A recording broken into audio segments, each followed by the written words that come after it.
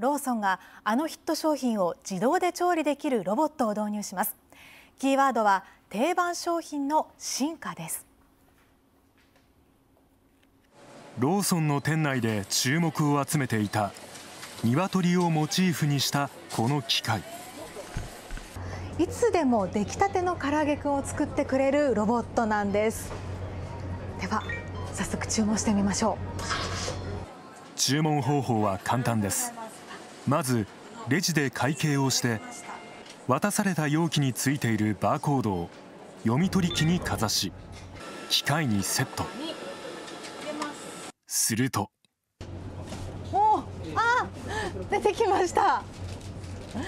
数十秒で揚げたての唐揚げくんが出てきました。うんあこれうわ外サクサクで中ふわふわですね。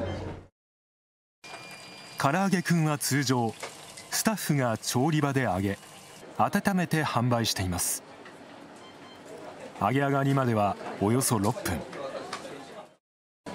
一方唐揚げくんロボは独自の技術を使い高温で揚げるので1分ほどで揚げ上がります。ロボットの導入で客に揚げたてを提供できるようになります。明日から品川の店舗に試験導入します。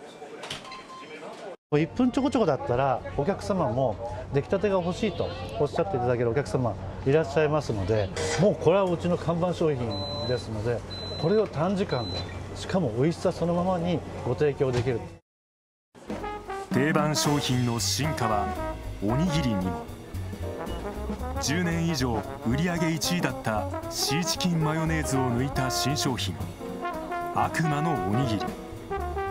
そのネーミングとご飯に天かすや天つゆを混ぜた和風の味付けが人気を集め10月の発売開始からわずか1ヶ月半で累計販売個数1000万個を突破しました。悪魔のおにぎりなんかもやっぱりこれからいろんな改良しながらですねお客様と会話しながら作り込んで僕らの大ヒット定番になるべくですね頑張りたいと思います。